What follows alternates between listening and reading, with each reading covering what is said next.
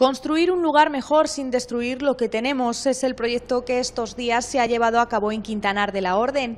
La iniciativa parte de un grupo de jóvenes de la localidad en colaboración con la artista internacional Milú Correts para transformar la vieja fachada de un edificio de siete plantas situado en la céntrica Plaza del Grano en una obra de arte urbano de 350 metros cuadrados.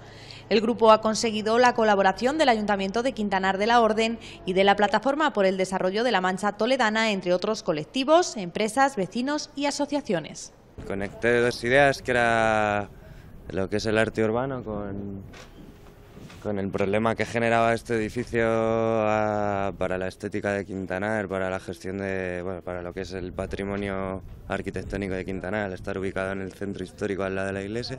Estamos eh, dos historias del arte, una educadora social, un publicista eh, luego hay técnicos de sonido, hay técnicos de imagen y bueno, y, es que muchísima gente de alguna o de otra manera está colaborando para sacar esto adelante. El gigantesco lienzo ha logrado convertirse en el centro de atención de vecinos y visitantes. Y es que esta artista argentina ha rescatado de las páginas de Don Quijote de la Mancha su Dulcinea, creando así un icono para esta localidad.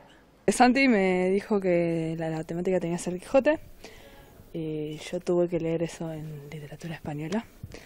Y bueno, nada, entonces se me ocurrió que Dulcinea era como, es el, como el motivo de la locura del Quijote, ¿no? Como la pulsión o la razón por la cual comete todas esas locuras. Entonces se me ocurrió pintarla a ella, sosteniendo al Quijote y a los molinos. En realidad el razonamiento es prácticamente el mismo. Eh, cuando haces 6x6 haces una cuadrícula y es con escalera y también aprendes a pintar por sectores. Bueno, ahora en vez, el sector en vez de, no sé, medio metro por medio metro es de 2 metros por 2 metros. Pero el razonamiento es básicamente el mismo. En tan solo unos días, Milú Correch ha logrado transformar un edificio que rompe la estética del casco histórico en una obra de arte de más de 20 metros de altura en la que ya se pueden contemplar a la bella Dulcinea arropada por su enamorado Don Quijote junto a su fiel escudero Sancho y los característicos molinos de viento de la Mancha.